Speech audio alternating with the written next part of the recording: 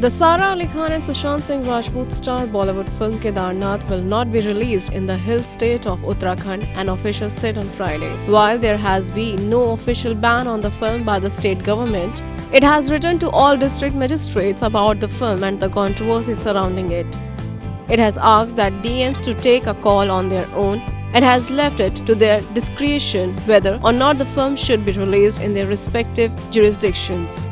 Following this, all the DMs have banned the film's release in their districts.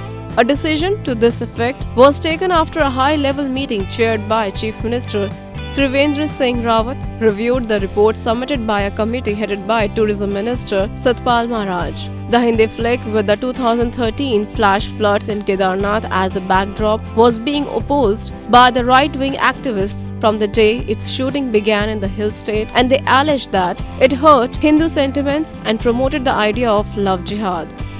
With the latest orders by the DMs, it would mean that the film will not release now in state capital Dehradun, Haridwar, Pauri, Tehri, Nainital, Almora, and Udham Singh Nagar. Other districts of the state don't have a film theatre.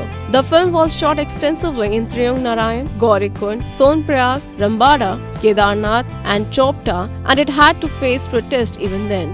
The Uttarakhand High Court on Thursday refused to ban the film and asked the petitioners to approach the district magistrate with their complaints.